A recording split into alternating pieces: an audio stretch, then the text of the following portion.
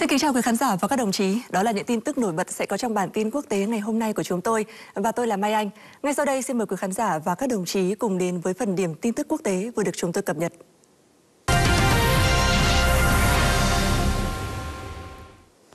Phát biểu khi đang ở thăm Kiev, ngày hôm qua, Bộ trưởng Quốc phòng Hà Lan Ruben Brenkelman cho biết nước này sẽ chi 400 triệu euro để hỗ trợ Ukraine phát triển các mẫu máy bay không người lái thế hệ mới. Khoảng một nửa trong số tiền trên sẽ được chi cho các công đoạn ở Hà Lan, còn phần còn lại sẽ được đưa tới Ukraine và một số quốc gia khác.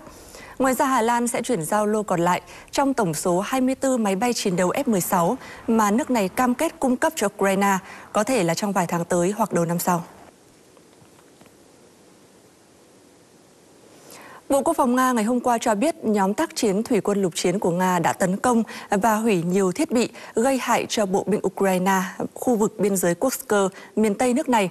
Trước đó, quân đội Nga thông báo đã thu giữ một kho vũ khí và đạn dược lớn do phương Tây cung cấp tại Uleda sau khi đẩy lùi lực lượng Ukraine ra khỏi thị trấn. Các loại vũ khí mà Nga thu được gồm đạn dược, súng cối, súng phóng lựu tự động và các loại vũ khí cầm tay. Ít nhất một người đã thiệt mạng và 10 người khác bị thương trong vụ xả súng hôm 6 tháng 10 ở miền nam Israel. Lực lượng cảnh sát nước này đã nhanh chóng tới hiện trường, vô hiệu hóa đối tượng nổ súng. Giới chức Israel đang xử lý vụ việc theo hướng tình nghi tấn công khủng bố. Vụ xả súng kể trên xảy ra chỉ vài ngày sau vụ xả súng tại Tel Aviv mà lực lượng Hamas ở Gaza thừa nhận thực hiện khiến 7 người thiệt mạng. Cảnh sát Pakistan cho biết ít nhất 11 người thương vong trong vụ nổ gần sân bay Karachi đêm qua, mùng 6 tháng 10. Theo điều tra ban đầu, vụ nổ xuất phát từ một xe bồn chở dầu, sau đó cháy lan sang nhiều xe khác. Hiện nguyên nhân vụ nổ đang được điều tra làm rõ, trong đó cảnh sát không loại trừ có yếu tố khủng bố.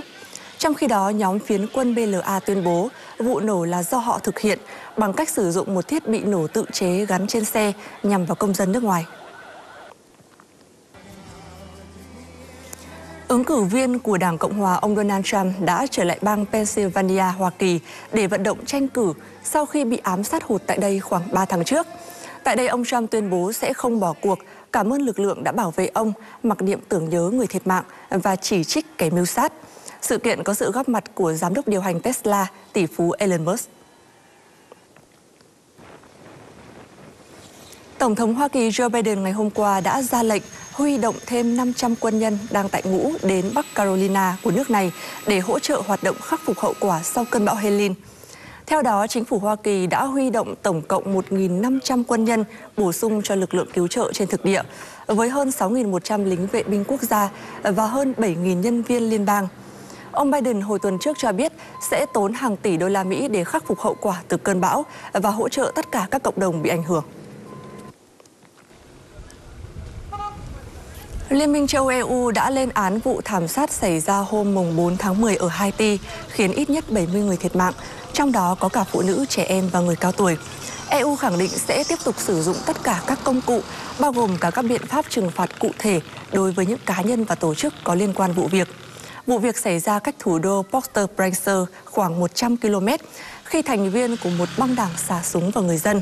Sau vụ việc, chính phủ Haiti đã kích hoạt tình trạng báo động. Kazakhstan ngày hôm qua đã tổ chức bỏ phiếu trong cuộc trưng cầu dân Ý về việc xây dựng nhà máy điện hạt nhân đầu tiên nhằm tìm cách loại bỏ dần các nhà máy điện than gây ô nhiễm. Theo ước tính, chi phí xây dựng nhà máy điện hạt nhân dao động từ 10 đến 12 tỷ đô la Mỹ. Những người chỉ trích kế hoạch trên cho rằng mục tiêu tương tự có thể đạt được với các nhà máy chạy bằng khí đốt dù vẫn sử dụng nhiên liệu hóa thạch nhưng ít gây ô nhiễm hơn.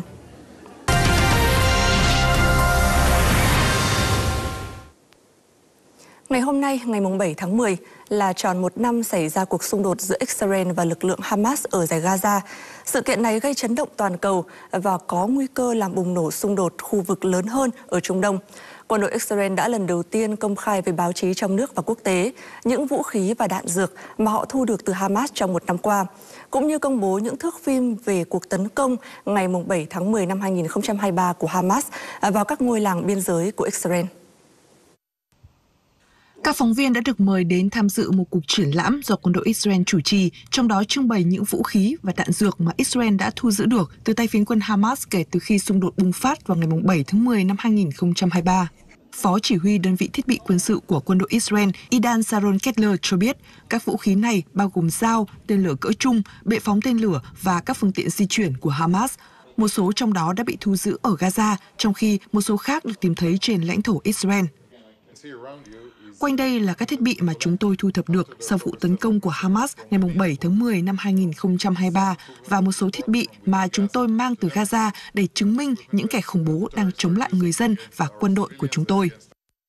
Quân đội Israel cũng lần đầu tiên công bố đoạn phim về cuộc tấn công của Hamas cách đây một năm và các ngôi làng biên giới của Israel. Đoạn phim đầu tiên cho thấy cảnh các binh sĩ thuộc đơn vị bóng ma tinh nhuệ của lực lượng phòng vệ Israel IDF đang làm nhiệm vụ tại Kibbutz Reim vào sáng ngày 7 tháng 10 năm ngoái. Trong trận chiến chống lại hàng chục tay súng Hamas, nhiều sĩ quan cấp cao của Israel đã thiệt mạng. Đoạn phim thứ hai hé lộ cảnh quay về cuộc đụng độ tại đồn cảnh sát Derot sau khi các thành viên Hamas chiếm quyền kiểm soát tòa nhà và sát hại một số sĩ quan. Tổng tham mưu trưởng IDF, Trung tướng Hezi Halevi cho rằng ngày 7 tháng 10 hôm nay không chỉ là để tưởng nhớ mà còn là ngày kêu gọi sự tự vấn sâu sắc để nhận ra những thất bại, rút kinh nghiệm, học hỏi và cải thiện, đồng thời xem xét những thách thức đã và đang đến. Theo thống kê của Israel, các cuộc tấn công của Hamas đã sát hại 1.200 người Israel và bắt khoảng 250 người làm con tin. Trong khi đó, ở Gaza, cuộc tấn công quân sự của Israel đã khiến gần 42.000 người Palestine thiệt mạng. Toàn bộ 2,3 triệu người dân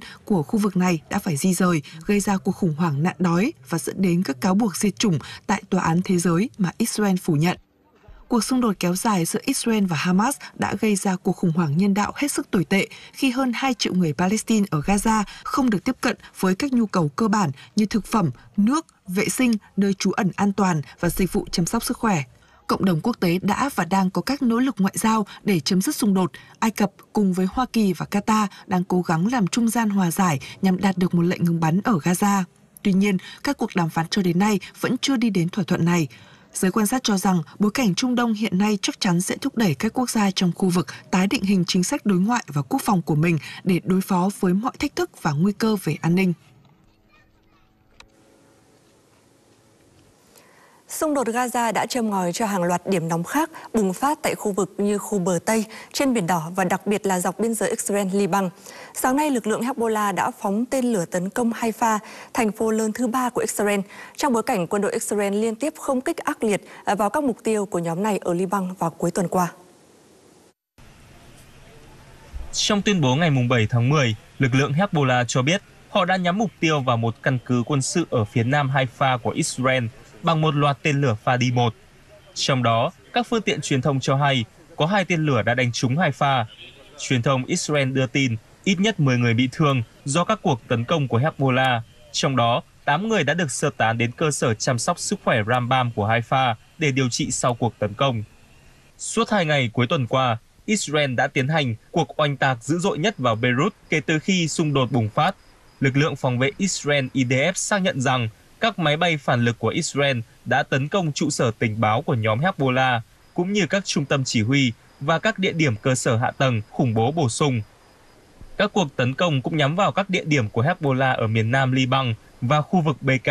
phá hủy một kho vũ khí và một trung tâm chỉ huy.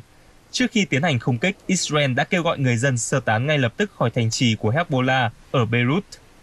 Nhân kỷ niệm một năm xảy ra vụ tấn công mùng 7 tháng 10, Israel đang cảnh giác trước một cuộc tấn công tương tự ở biên giới phía Bắc với Liban. Hiện tại, chúng tôi đang có chiến dịch quân sự ở Liban để loại bỏ nguy cơ lớn từ Hezbollah. Lực lượng đang sử dụng các loại vũ khí tương tự Hamas. Chúng tôi đã thu thập các vũ khí và tổng hợp thông tin tình báo. Không những vậy, chúng tôi còn rút ra những bài học kinh nghiệm trong một năm qua để ngăn chặn một sự kiện ngày 7 tháng 10 khác. Thủ tướng Israel Benjamin Netanyahu đã gặp các tư lệnh quân đội phía Bắc trước thềm kỷ niệm một năm vụ tấn công mùng 7 tháng 10 để đánh giá việc triển khai lực lượng trên lãnh thổ Liban, kết quả hoạt động và các mục tiêu tiếp theo trong chiến dịch nhằm tiêu diệt khả năng quân sự của Hezbollah.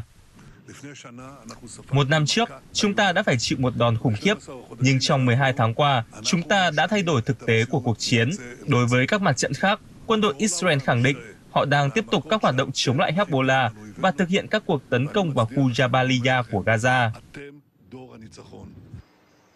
Cùng ngày, Bộ Quốc phòng Syria cho biết Israel đã tiến hành các cuộc không kích nhằm vào các vị trí quân sự ở miền trung Syria, song không gây thương vong. Tuyên bố của Bộ trên cho biết vụ tấn công xảy ra vào khoảng 20 giờ 05 theo giờ địa phương nhằm vào các địa điểm quân sự ở miền Trung gây thiệt hại vật chất. Hàng loạt quốc gia đã lên kế hoạch và tiến hành sơ tán công dân khỏi Liban là một chỉ dấu cho thấy nguy cơ xung đột leo thang ở quốc gia này. Theo Bộ Y tế Liban, ít nhất 11 người thiệt mạng và 17 người khác bị thương trong các cuộc tấn công của Israel hôm 6 tháng 10. Chuẩn tướng Esmail Qani, chỉ huy lực lượng quát của Iran, đã mất liên lạc từ khi xảy ra các cuộc không kích của Israel vào Beirut vào cuối tuần trước. Ông Qani đã đến Liban sau vụ ám sát thủ lĩnh Hezbollah vào tháng 9.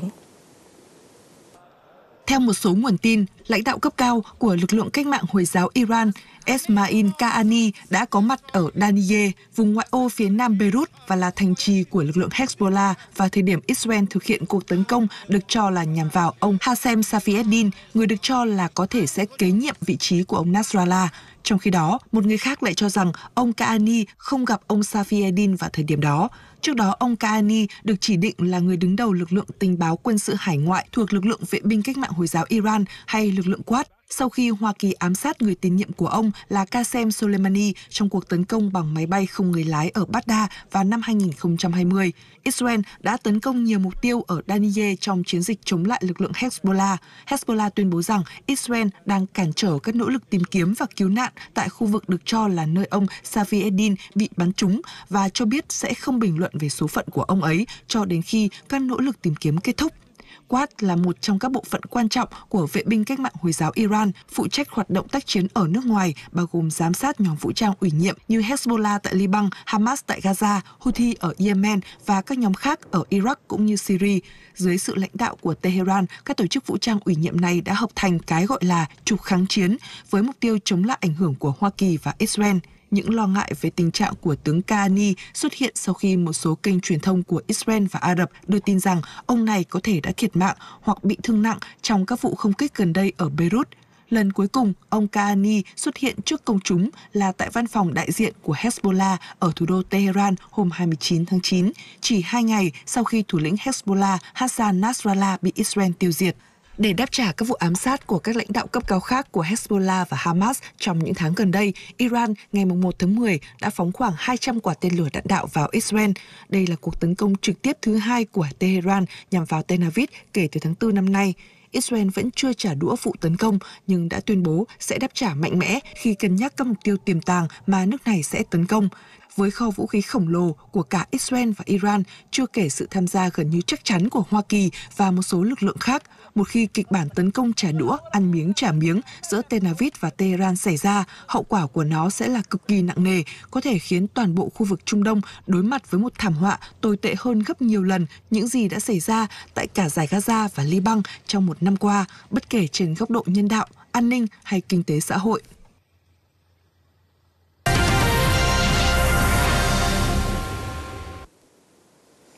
Nhân kỷ niệm tròn một năm xung đột tại Gaza, những hoạt động như là cầu nguyện hay là tuần hành đã được tổ chức ở khắp nơi trên thế giới với một mong muốn duy nhất, đó là chấm dứt xung đột và lập lại hòa bình cho mọi người. Thông điệp này cũng sẽ khép lại bản tin ngày hôm nay của chúng tôi. Xin chào và hẹn gặp lại.